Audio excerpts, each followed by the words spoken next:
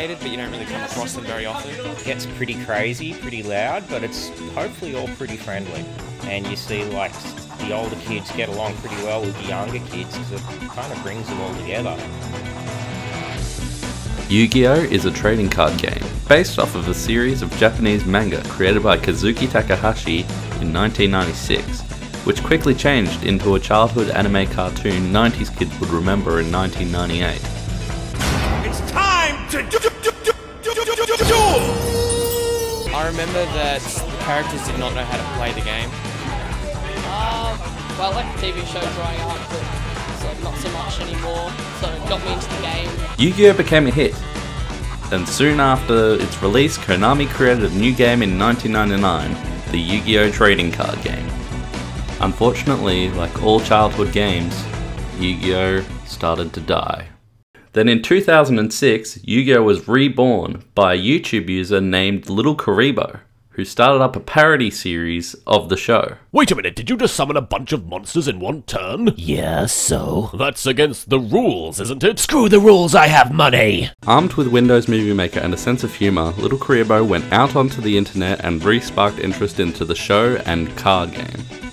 Suddenly Yu-Gi-Oh! was back on television, back in stores, and had a large group ready to play the game. This was the resurrection of Yu-Gi-Oh!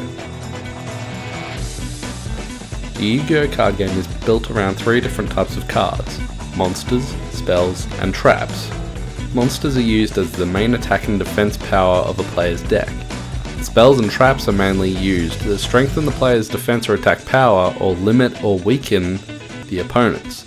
Each one of these types goes into more detail and complexity.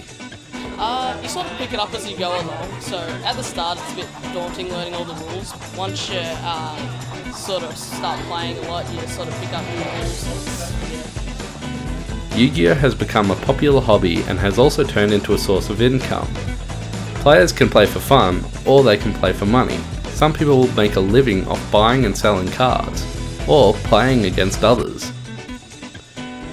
Competitions for this game are ranged from smaller stores and shops to hugely massive competitions that run nationals.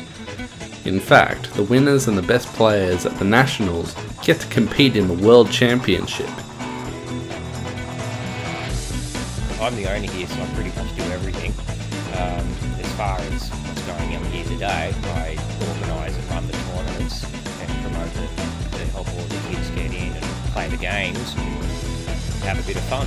It's a Swiss tournament, so what that means is first round all the players play off against each other and it's a random draw.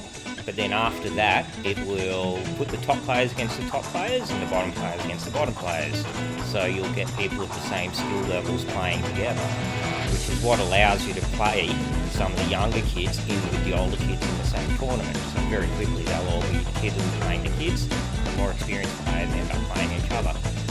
So it's a good way, it gets a good mix of it all through. And we run about four rounds, we run that through the day. And um, yeah, it's a good experience for, for them. At the moment, we're running them twice a month. Um, they'll be on the uh, second and last Saturday, so it's a fixed event, so they can just come down any time. As you can see, Yu-Gi-Oh! is anything but dead. Since it came back, it's become a huge game played by thousands, if not millions of people around the world.